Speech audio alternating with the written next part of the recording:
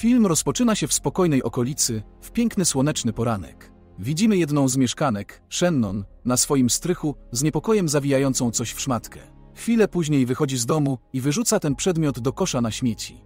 Następnie pozwala swojej córce, Klarze, jeździć na rowerze po ulicy. Rodzinny pies również dołącza do zabawy i wydaje się, że jest to normalny dzień za dziecka. Jednak sprawy szybko przybierają ponury obrót, gdy Claire wraca do domu. Odnajduje swoją mamę na strychu i odkrywa, że kobieta dopuściła się niewyczynu. Następnie film przenosi się kilka lat później, gdzie dorosła Claire nagle budzi się ze snu. Okazuje się, że wciąż ma koszmary o śmierci matki. Mieszka teraz z samotnym ojcem, Jonathanem, który pracuje jako śmieciarz. Rodzinny pies, Max, również dorósł i jest jej najlepszym przyjacielem. Po przygotowaniu Claire jedzie do szkoły na rowerze. Po drodze wita się z sąsiadką, panią Delukę po drodze, a także natyka się na wujka ze strony matki, Augusta. Starzec próbuje odzyskać swoją gazetę, ale Claire proponuje, że mu ją przyniesie. Gdy zawraca na rowerze, z naprzeciwka nadjeżdża szkolny łobuz, Darki nadjeżdża z naprzeciwka.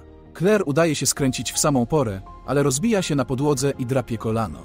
Mimo to idzie do szkoły, gdzie zauważa swojego ojca nurkującego w śmietniku ze swoim przyjacielem. To zawstydza nastolatkę i ze złością konfrontuje się z nim o tym. Jonathan twierdzi, że próbuje tylko znaleźć coś przydatnego, ale kiedy Claire namawia go do odejścia, zobowiązuje się.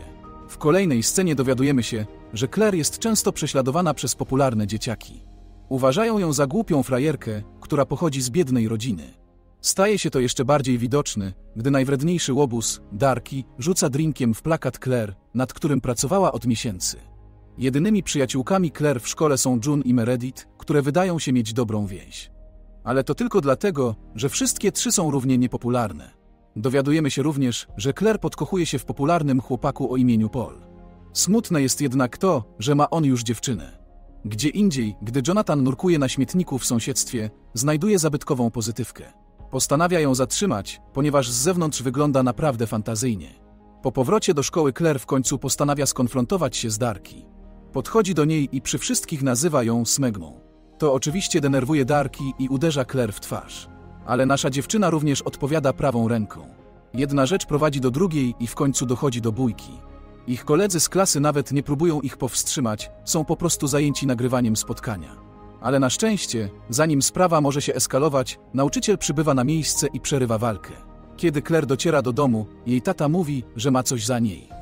Następnie udaje się do swojego pokoju i znajduje w łóżku zawinięty przedmiot. Claire otwiera go i dowiadujemy się, że jest to ta sama zabytkowa pozytywka, którą wcześniej znalazł jej tata.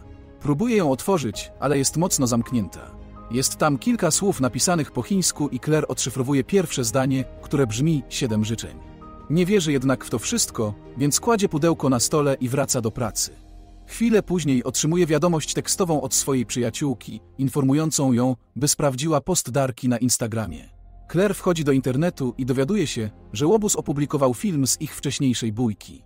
Zamieściła również osobne nagranie, na którym Jonathan nurkuje w szkolnym śmietniku.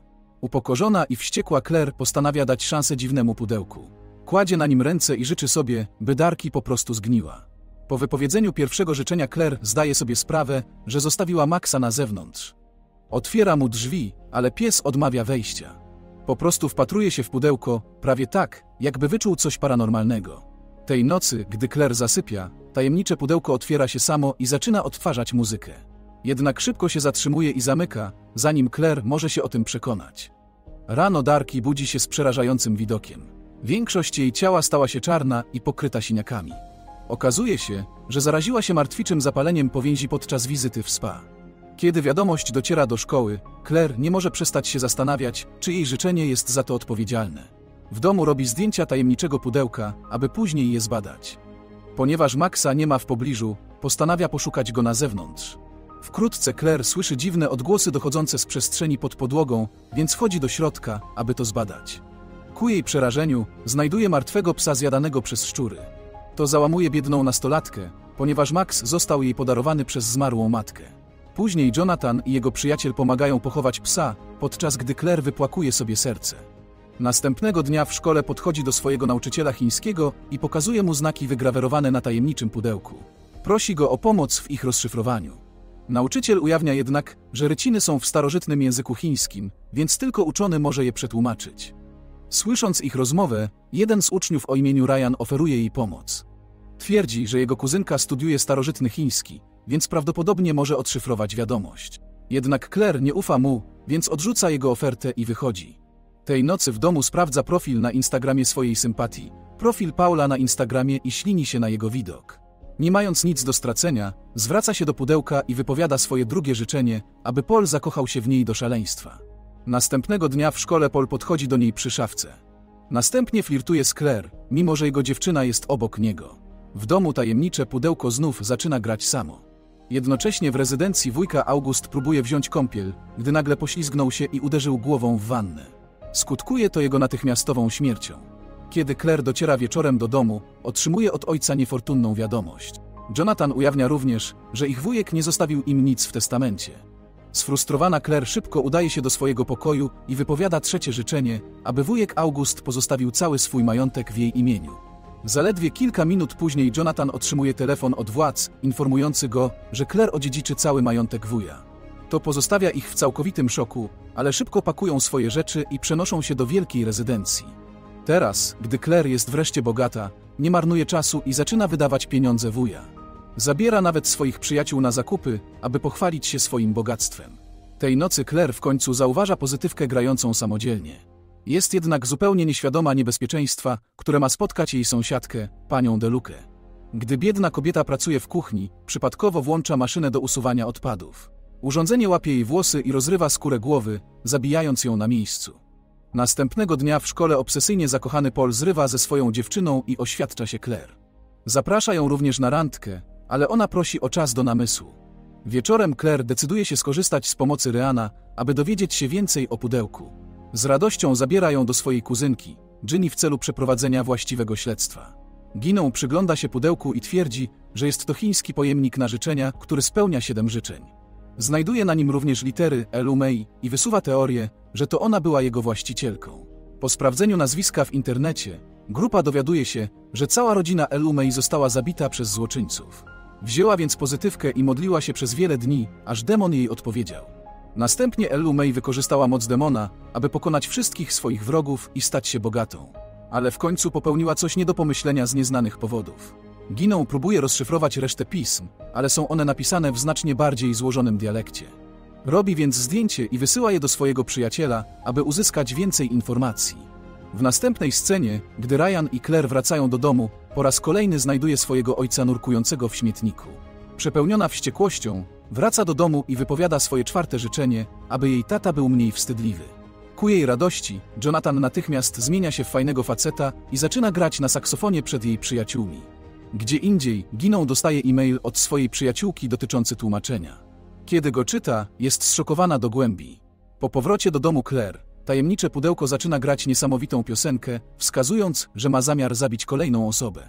W tym samym czasie w pokoju Ginny następuje przerwa w dostawie prądu, co skłania ją do wyjścia na zewnątrz. Próbuje zadzwonić do Reana, aby poinformować go o prawdziwości tajemniczego pudełka, ale podmuch wiatru zrzuca jej telefon z balkonu. Giną spieszy się do swojego pokoju, ale przypadkowo potyka się i uderza w ostry posąg. Skutkuje to jej niefortunną śmiercią. Rano Ryan odkrywa jej rozbity telefon na podłodze. Czyta wpisaną wiadomość, którą miała mu wysłać zeszłej nocy, co bardzo go martwi. Następnie pędzi do pokoju Ginny, tylko po to, by znaleźć jej martwe ciało na tle posągu. Później w szkole Ryan podchodzi do Claire i pyta, czy złożyła ostatnio jakieś życzenia. Ujawnia, że znalazł swoją kuzynkę, Ginę, martwą w jej mieszkaniu. Następnie w końcu ujawnia, co oznaczają ryciny na tajemniczym pudełku. Okazuje się, że za każde życzenie pudełko odbierze życie. Claire czuje żal z powodu śmierci Ginny, ale kłamie, że nie wypowiedziała żadnego życzenia i wychodzi. W stołówce w końcu postanawia umówić się z Paulem, ale inni uczniowie wciąż się z niej naśmiewają. W rezultacie Claire wraca do domu i spełnia swoje piąte życzenie, staje się najpopularniejszą dziewczyną w szkole. Ku jej radości, Paul natychmiast zaprasza ją na imprezę, gdzie spotykają się tylko popularne dzieciaki. Kiedy Claire tam dociera, staje się gwiazdą imprezy. Wszyscy obsypują ją komplementami, a Paul nawet namiętnie całuje. Tej nocy Claire przeżywa kolejny koszmar związany z odejściem matki. Kiedy się budzi, zauważa, że ktoś śledzi ją z balkonu. Claire pośpiesznie biegnie za nim, ale mężczyzny już dawno nie ma. Następnego ranka, kiedy udaje się do rezydencji pani Deluque, w końcu znajduje jej martwe ciało. To uświadamia jej, że tajemnicze pudełko rzeczywiście zabija ludzi. Claire natychmiast zgłasza to swoim przyjaciołom, a oni, choć jej nie wierzą, sugerują, by wyrzuciła tajemnicze pudełko. Zgodnie z ich sugestią, Claire niesie pudełko i wyrzuca je do kosza. Kiedy jednak słyszy, jak jej tata gra na saksofonie, postanawia zatrzymać je na dłużej. Następnej nocy szkoła organizuje imprezę pożegnalną, na której zebrali się wszyscy uczniowie. Gdy Claire całuje się z Paulem w jego samochodzie, prosi go o telefon. Kiedy przegląda jego galerię, jest zszokowana, że znajduje tam swoje zdjęcia. Oznacza to, że jest on osobą, która prześladowała ją w nocy. Claire natychmiast zrywa z nim za ten czyn, ale Paul nie zamierza z niej zrezygnować. Później na imprezie widzimy Meredith na 27 piętrze, grającą w grę. W tym samym czasie pozytywka zaczyna grać sama. Biedna Meredith jest kolejną ofiarą, a gdy tylko wchodzi do windy, zjeżdża ona z ogromną prędkością. Uderzenie zabija ją w jednej chwili, pozostawiając wszystkich przerażonych. Później Ryan zabiera zszokowaną Claire do swojego domu, aby jej coś pokazać. Okazuje się, że przeprowadził badania nad pudełkiem i odkrył, że wszyscy jego poprzedni właściciele popełnili coś nie do pomyślenia po spełnieniu ich siedem życzeń. Oznacza to, że jeśli Claire spełni jeszcze dwa życzenia, również zostanie zabita. Aby temu zapobiec, oboje próbują zniszczyć pudełko, ale okazuje się to niemożliwym zadaniem. Claire po prostu zamyka tajemnicze pudełko w otworze wentylacyjnym. Tej nocy ponownie odwiedza ją jej szalony były chłopak, Paul. Kiedy odmawia przyjęcia go z powrotem, podcina sobie nadgarstek na jej oczach. To skłania Claire do szybkiego wezwania karetki pogotowia. Niestety rano Claire i Ryan dowiadują się, że tajemnicze pudełko zaginęło. Wraz z jego nieobecnością, życzenia, które spełniło, również zaczynają znikać. Dom zostaje wkrótce przejęty przez władze, ponieważ wujek August miał wiele niezapłaconych podatków. Zmusza to Claire i jej ojca do powrotu do starej chaty. Claire nie tylko traci swój majątek, ale także popularność. Teraz znów jest głupim, nudnym dzieckiem, którego nikt nie lubi. Później w szkole odkrywa, że to June ukradła tajemnicze pudełko. Ta ostatnia próbuje twierdzić, że zrobiła to za bezpieczeństwa wszystkich, ale Claire nie słucha. Ze złością wyrywa pudełko, a w wyniku zamieszania June spada ze schodów i rani się. Kiedy Claire dociera do domu, wypowiada swoje szóste życzenie, aby jej matka wróciła. Tak po prostu Shannon wraca do życia i przytula ją. Claire odkrywa również, że ma dwójkę nowego rodzeństwa. Tego dnia rodzina spędza razem wspaniały czas, a Claire zapomina o wszystkich zmartwieniach. Ale kiedy idzie na strych, znajduje coś szokującego. Okazuje się, że jej mama posiadała tę pozytywkę przed nią. Była to ta sama rzecz, którą wyrzuciła na początku filmu i była tym samym powodem, za którego popełniła coś nie do pomyślenia. Właśnie wtedy pozytywka zaczyna grać niesamowitą muzykę. Jonathan jest obecnie w ogrodzie, ścinając gałęzie drzew ze swoim przyjacielem.